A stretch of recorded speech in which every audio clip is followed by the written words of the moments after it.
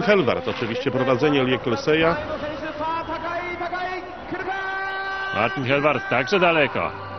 Nie tak daleko jak Jokolsej, gdzieś tuż przed 130 metrem lądował Martin Helwart. No i zapewne będzie w klasyfikacji drugi za Norwegię.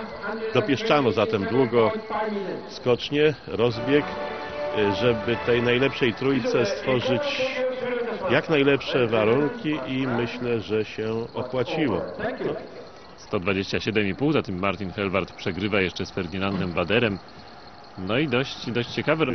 Wyniki tej pierwszej